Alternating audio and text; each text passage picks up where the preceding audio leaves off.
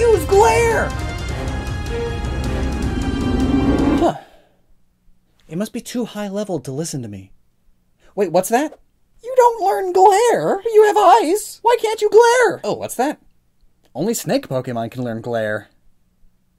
Is this true? Dear God.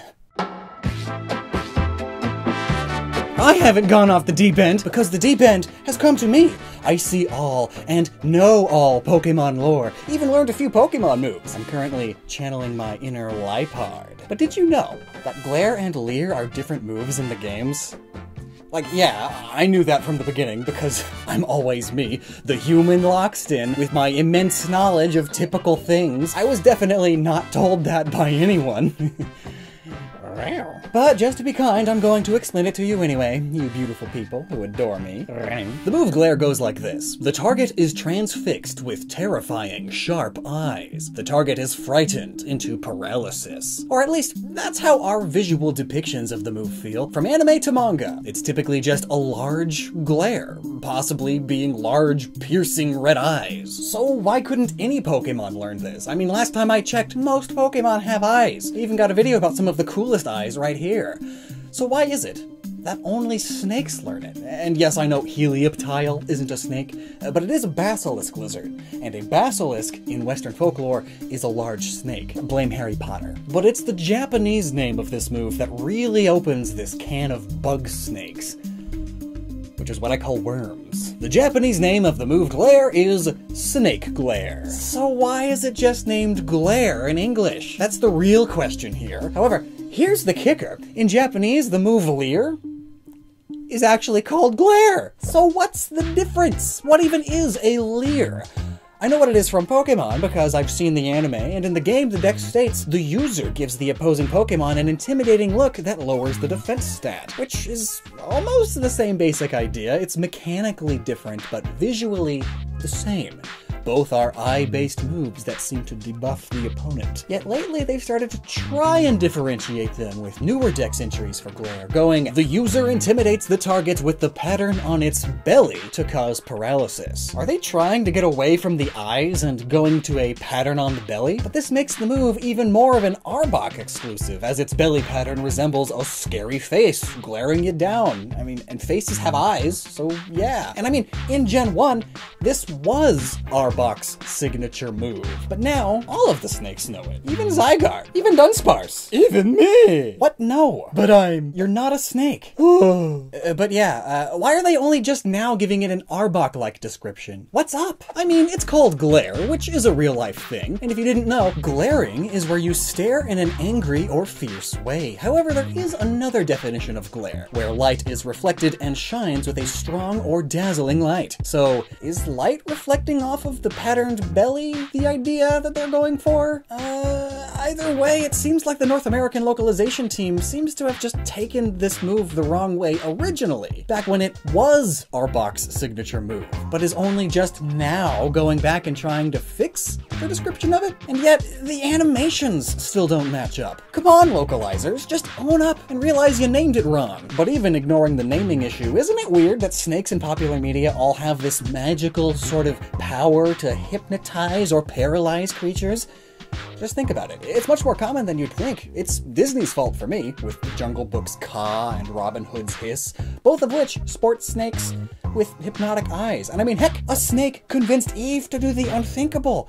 There had to have been some softcore hypnotism going down, clearly. So humans have had this association with snakes for a very long time. Do snakes in the real world paralyze creatures in fear? Why would scaring prey into staying still be helpful? Actually, you may have been affected by this yourself. You ever feel a chill run down your spine and your body doesn't want to move? Something so scary that you just stop. This is because of the big F's of life fight or flight.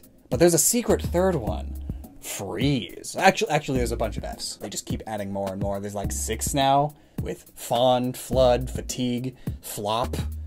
Yeah, I'm blowing your mind right now. Uh, but the third one is what we're looking at. Freeze. We all understand fighting or fleeing as they are the most reasonable choices, especially when the threat is a physical threat. But freezing, why would stopping and not responding to a threat be an evolutionary advantage? A deer in the headlight situation seems like it always ends in a car hitting you. That's a bad example because humans love to ignore and be different in terms of animal instincts, though. Uh, but yeah, a freezing response seems somewhat wrong. Very, very small brain. Wouldn't it be better to get a head start and dash away from the potential threat immediately? Well, yes. But also, no, it might be a big brain strategy after all. Many predators, especially those with small brains themselves, react to movement. And if you do abruptly go rigid, there's a chance that the T-Rex that you just spotted won't notice you. This is a funny joke because the popular movie franchise Jurassic Park thought that the T-Rex was a movement-based predator, but new research is figuring out that it was actually kind of similar to a hawk basically able to see very well and find prey very easily from a distance. But the idea is the same.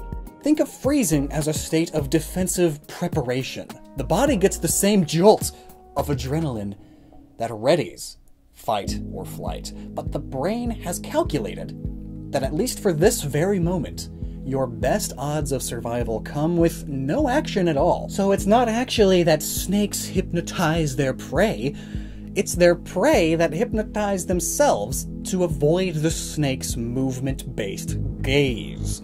Animals act on instinct, and when something is different than normal, they don't like it. They are creatures of habit, after all. Similarly, animals that learn to abuse this fact that one of their predators is movement based tend to excel. So evolution loves them more, meaning that trait gets passed on. I mean, think of the possum. Playing dead seems like a dangerous strategy to use, but I guess enough animals get grossed out or confused by it playing dead that the possum has lived on to pass on its dying genes. However, snakes in particular have a small advantage during this freeze phase. Snakes don't have to blink. The freeze stage is all about each animal's brain trying to find the next best action to rapidly strike at the movement it sees versus to flee at a moment's notice. And during this time, the brain is hyper focused, emotionally and mentally exhausted in mere moments from the sheer energy needed to think this rapidly. And blinking during this moment, well, that's a disadvantage. That's a weakness. The fact that snake eyelids are fixed is sort of planned by evolution. Snakes have an eye cap allowing them to never blink or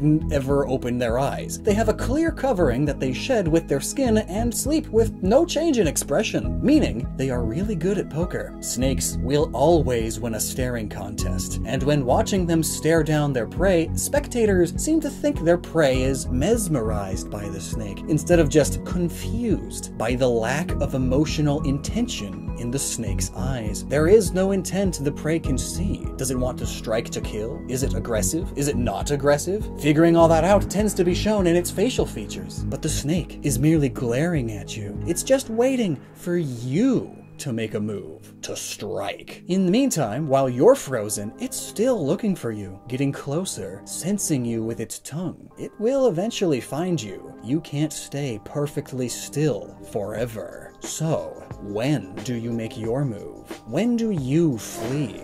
Ugh, how paralyzingly spooky. So, snake hypnosis is a myth that probably started because snakes are dangerous and their unblinking glare keeps you in a trance.